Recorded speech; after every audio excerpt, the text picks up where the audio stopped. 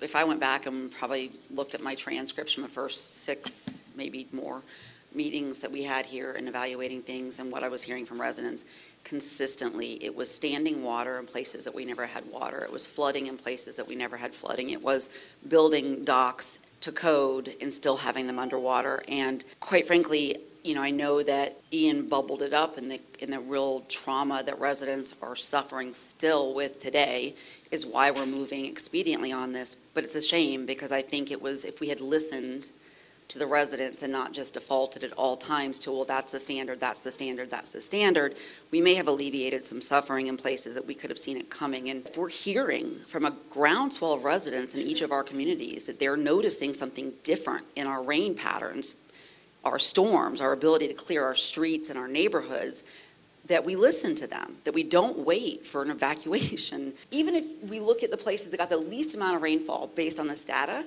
in my district, there were still many of them that were underwater for a long time just because of, of the, what we knew were the downflow of the Reedy Creek, Shingle Creek Basin right there.